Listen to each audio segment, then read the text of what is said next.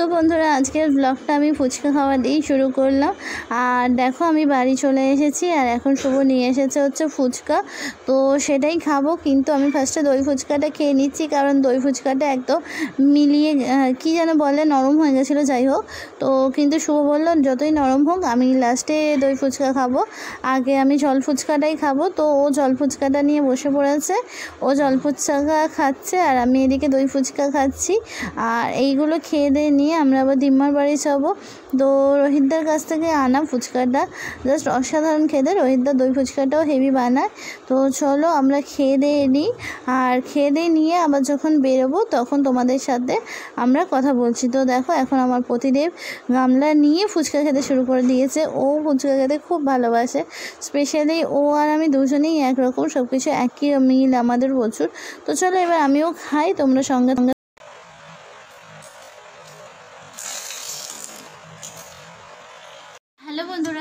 স্বাগতম Bengali blogger ঋতপর্ণার পরিবারে। আমি ঋতপর্ণা তোমাদের বন্ধু, চলে এসেছি। তো আজকে কী বার? ভাবছ নিশ্চয়? তো আজকে হচ্ছে অবভিয়াসলি রবিবার, আর এখন বাজে হচ্ছে বেলা তিনটে। তো কালকে থেকে ব্লগটা করছি, কিন্তু এখনও শেষ করতে পারিনি, বিরিয়ানি করছিলাম তো। তারপর লাঞ্চ ফাঞ্চ করে নিয়ে একদম শেষ করছি, তবে অনেস্টলি বলছি বিরিয়ানিটা আজকে একদমই ভালো হয়নি। জাস্ট ঘেটে খাওয়া হয়ে গেছে। তো যাই হোক, সেটা পরের কথা। আমি বাড়ি চলে এসেছি। তোমরা সবাই বলেছ যে তুমি এখন বাড়ি থাকো। তোমার সব থেকে সেটাই দরকার বাড়ি থাকো। আর সবাই সেটাই বলেছে যে তুমি এখন বাড়ি থাকো, তোমার বাবা মায়ের পাশে থাকো। তো সেই জন্য আমি বাড়ি চলে এসেছি। আর আজকে যে খবরটা দিলে তোমরা খুব খুশি হবে। রাতের পরে যেমন দিন থাকে, তেমন আমাদের পরিবারে অনেক কিছু খারাপের মধ্যে একটা কিছু ভালো আছে, তাই না? থাকে তো, তোমরা অনেকেই আমাকে কমেন্ট করছিলে, তো সে কি ভালোটা কি জানো? জানো না তো, জানতে হলে অবশ্যই পুরো ব্লগটা দেখতে হবে। তো চলো সঙ্গে থাকো, আর কি কী যেটুকু শ্যুট করেছি, তোমাদের সাথে শেয়ার করেছি, তো দেখতে থাকো। চলো। বন্ধুরা আজকে ব্লগটা আমি ফুচকা দিয়ে শুরু করলাম, তো ফুচকা খাওয়া হয়ে গেছে। আর এখন যাব হচ্ছে দিম্মার বাড়ি, আর ওখানে গিয়ে বসবো। ওই বাড়ি থেকে চলে এসেছি পাঁচটার কুড়িতে, আর এখন দিম্মার বাড়ি যাব, গিয়ে ওখানে একটু বসবো, আর কাল সকালে বাড়ি চলে যাব। তো যাই, একটু বসে নিই, দিয়ে রেডি হব, দিয়ে দিম্মার বাড়ি যাব। তো চলো সঙ্গে থাকো। এই ভিডিওটা আমি একজনের জন্য শ্যুট করেছিলাম, তাই এটা করেছি, তো তোমাদের সাথে একটু শেয়ার করলাম। দেখো বন্ধুরা, আমরা ডিম্বার বাড়ি যাওয়ার জন্য রেডি হয়ে গেছি। তো চলো যাই। আর জানি না ওখানে কি ভিডিও করতে পারব কি না যদি পারি, তো অবশ্যই তোমাদের সাথে শেয়ার করব। তো চলো পড়েছি ব্যাগ ফ্যাগ নিয়ে যাচ্ছি। একটুখানি কাজও আছে, কতগুলো জিনিস কেনার আছে। তো চলো যাই, দেওয়ার পরে কথা বলছি। ডিম্বার বাড়ি থেকে।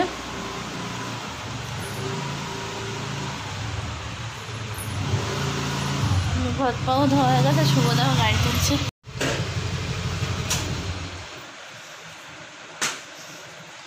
দেখো, তোমাদের দাদা এখন গাড়ি তুলবে। এলাম, আমি এসে কি করেছি? আগে হাত পাত ধুয়ে নিয়ে ড্রেস চেঞ্জ করে নিয়ে, তারপরে তোমাদের সাথে কথা বলি। আর শুভ এখন গাড়ি তুলছে। তো চলো দেখা একটু শুভকে। ভালো করে বন্ধ করছ? এই দেখো, শুভ এখন গাড়ি তুলবে। এইখানটায় রাখি গাড়িটা আমরা।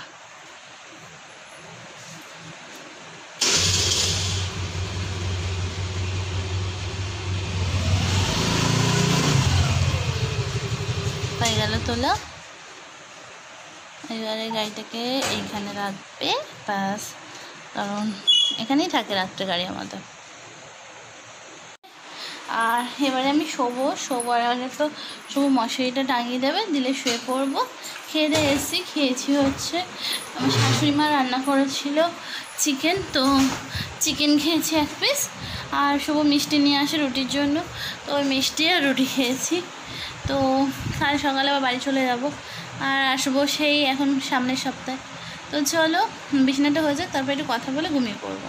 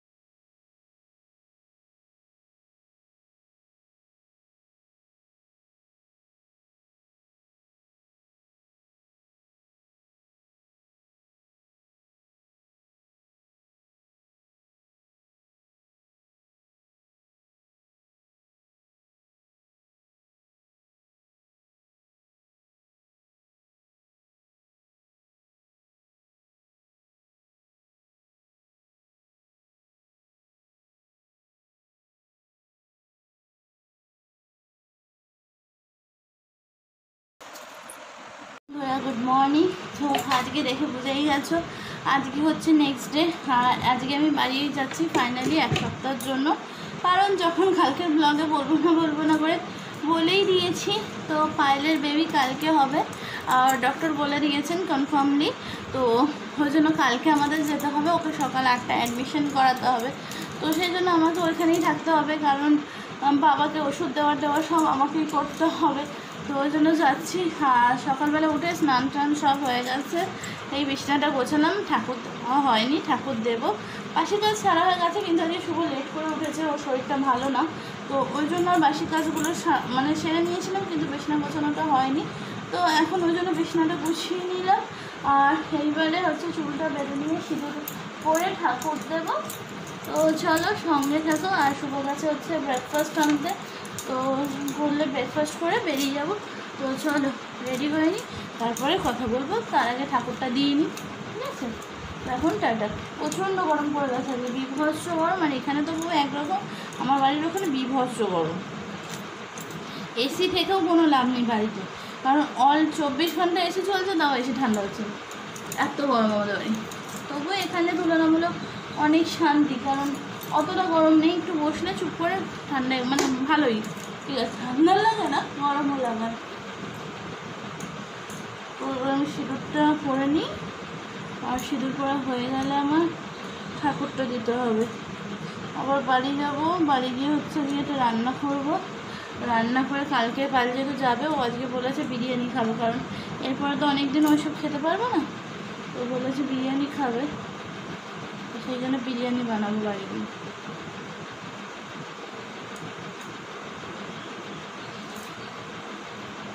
শুভ আমায় দিয়ে একদম খেয়ে দেও চলে আসব। চল, আমি পুজো টুজো করে নিই, তারপরে আবার আসছি।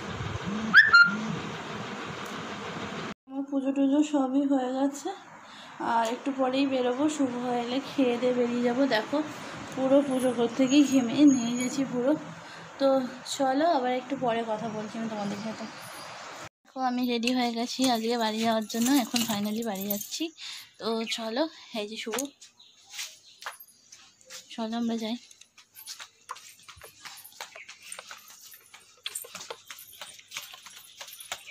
তো আমি বাড়ি চলে এসেছি আর আস্তে আস্তে ফাইল আমার দিয়ে দিয়েছে হচ্ছে লেবুর জল।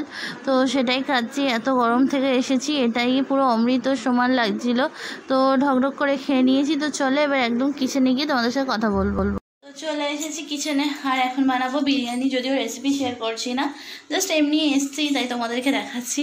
তো চলো ঝটপট বসিয়ে দিই এখানে অলরেডি চাল ভিজিয়ে রেখে দিয়েছিল কাকিমা। তো এখন আমি ভাতটা বসিয়ে নিই।